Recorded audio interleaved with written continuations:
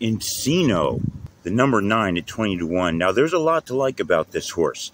Uh, jockey is Alex Concepcion in this one, trained by Brad Cox. Now, you gotta like the fact that Encino was sired by Derby winner uh, Nyquist. Uh, when you look further back in his pedigree, uh, his mother's father's Bernardini, whose uh, sire was AP Indy. So you're looking at um, lots of strong um, mile and a quarter breeding in there. AP Indy ties you back into Secretariat in Seattle Slew. So you gotta like the breeding on Encino. You gotta like this last workout he had here, 59 second breezing. Um, doesn't say everything, but it's good to see that he's in good shape. That is a good time. You gotta like the fact that the worst race he's ever run, he lost by a neck, and he's won every other race. So, uh, running for three wins, uh, one second place by a neck.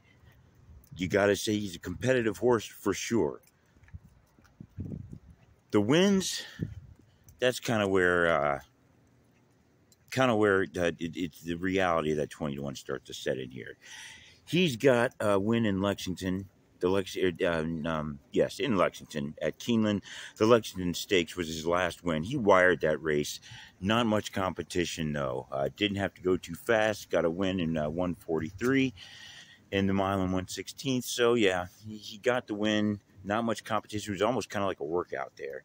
Before that, he got a win in the John Battaglia.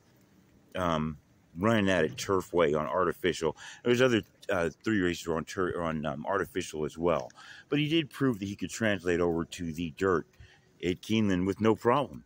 So you gotta like a lot about this horse. He's raced in Kentucky his whole life, so he's not going too far. Same atmosphere essentially, except you're gonna have the the uh, the Derby atmosphere added. Jockey, young jockey. You kind of would want to see a more experienced jockey on this horse.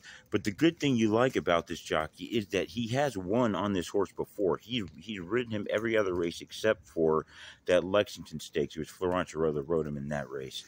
So, uh, Alex Concepcion jumping back aboard a horse he's familiar with. You you gotta like it, especially in the Derby. There's been a lot of times you've had these Derby winners that the jockey was able to get that win, and that's the only really big win the jockey ever had in his career. Uh, was with his horse that was good enough to win the Derby, and um, horses, just like all animals, have rapport with certain people. Um, a good sign that a horse has rapport with his jockey is that he wins races with him. So uh, you don't want to overcomplicate that uh, when evaluating the jockey. You would want to see more experience, but you do like the fact that he's got a win aboard him. Uh, also, uh, evaluating the, the jockey kind of goes along with the trainer. So even the, the jockeys out there riding, you got Brad Cox. Um, as the trainer. So the, the trainer is going to set up the strategy for a younger jockey. He's not going to go out there and just wing it on his own. So, like I said, there is a lot to like about Encino. Can he get the speed? I don't know. He's going to be running up front. Uh, most likely, I don't think he's going to take the lead. The fastest uh, opening half he ever ran was a 47. He did that in that Lexington it's going to have to be it's going to be faster than that. I don't see any way it's not 46 or lower. Um, and I don't see Johnny Velazquez giving him that lead at 47. So he's going to have to go faster or else hang back there. That could come to his detriment. It most likely usually does come to the detriment of horses that ride too close to the Kentucky Derby pace, unless he's really got the grit to ride it out. Not sure. The horse, uh, that's the thing with the horses that win a lot you don't really know what it takes to beat him. So he does have a loss in his first race, but I mean, a lot of horses lose in their first race. And it was only by a neck.